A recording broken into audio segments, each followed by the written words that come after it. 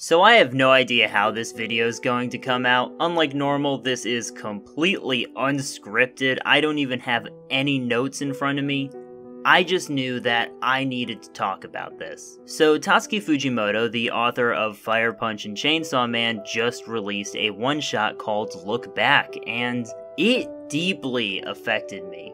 I still am not sure exactly how to put my thoughts into words, so I just figured, hey, how about you just talk into a mic for a while instead of even trying to think about this, because I am truly at a loss for words right now.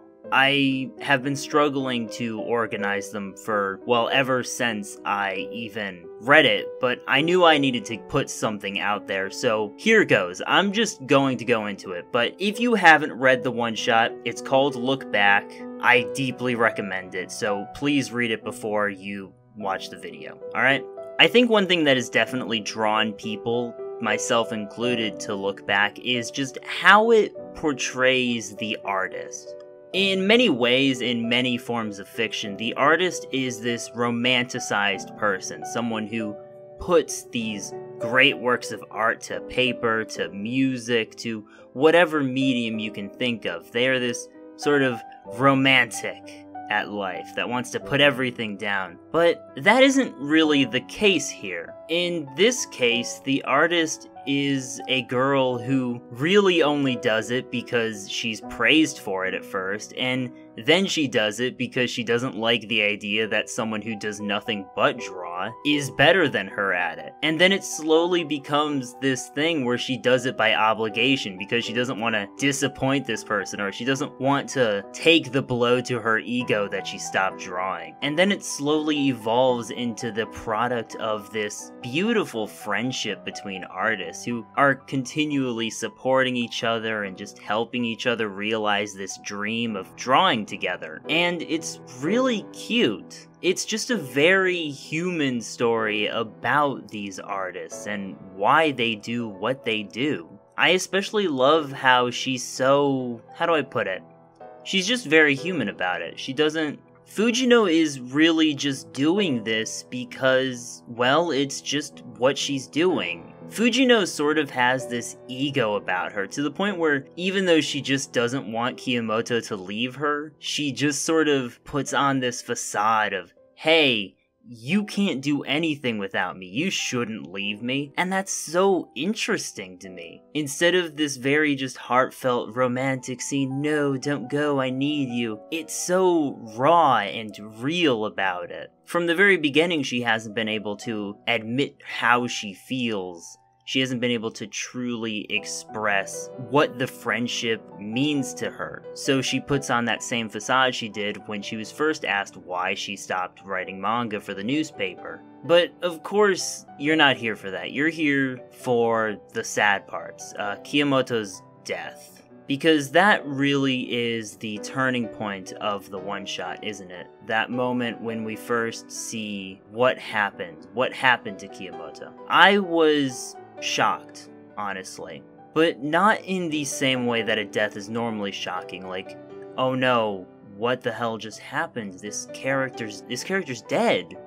What do I do now? That wasn't the point. It was shocking, yes, but where the real shock comes in is with Fujino's reaction. I think this is where Fujimoto's art really shined, because it wasn't these huge, bold expressions, these great heartfelt teary moments. No, that wasn't the point. You could just see how utterly dead inside she was.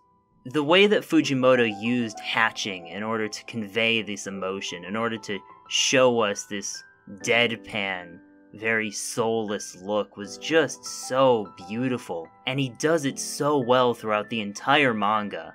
I think that this section of the story is definitely where it shines because it suddenly becomes a character study for Fujino and how she's dealing with this. And this is where the title of the manga comes in Look Back.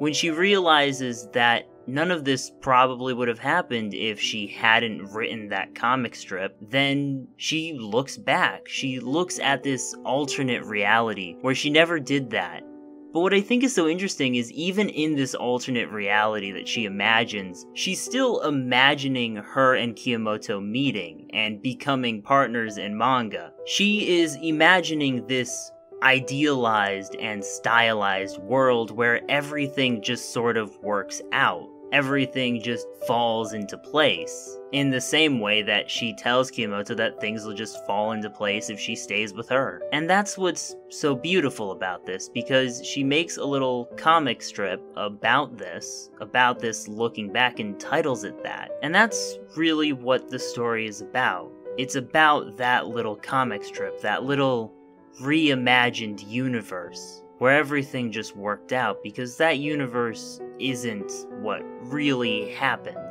What really happened is that Kyomoto died, and that's never going to change. Even blaming herself won't do anything. And she goes into Kyomoto's room and she sees that Kyomoto has been following her journey as a mangaka, been collecting the volumes, been reading religiously. And it's at this point that Fujino has to wonder what she truly was drawing for. What was she an artist for? Because she doesn't like making the art. It's a pain in the ass. It's hard work. So why draw at all? The answer to that question lies in that four panel comic strip, Look Back. Because back at the end, when she sees her room, she takes that little comic strip, she goes back to her office, hangs it up, and then continues to draw.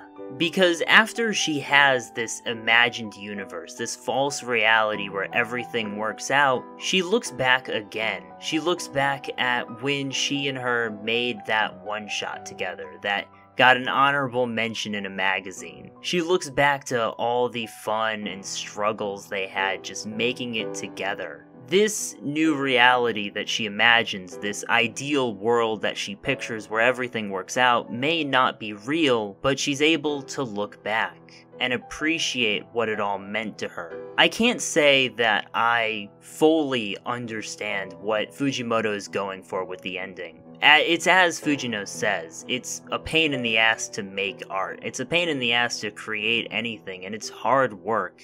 But I do understand that with looking back, with seeing this true reality, not just the dim parts of it, but also the good parts, the parts that can be appreciated. With looking back like that, we do have the strength to keep going. And I think that is a very beautiful story to tell. Uh, I don't know. Looking back at this recording, I don't really know if I said much of anything. I really just wanted to talk about it, to get my thoughts out there no matter what, because it really resonated with me. This story genuinely made me cry like two separate times, and it's very rare for that to happen. I don't know. I'm not trying to make a statement or give some deep philosophy. I just want people to read this one shot. I want people to appreciate it like I do and just feel it. Because damn, do I think that this is something genuinely special. So yeah, I have always loved Tatsuki Fujimoto. Both of his main manga are 10 out of 10s in my opinion. So to see him just come back like this was an absolute joy, even if the joy was in crying my eyes out at his writing. Either way, I hope you check it out, and if you already did, I hope you liked it. It's a really good one shot. That's about all there is to say absolutely brilliant.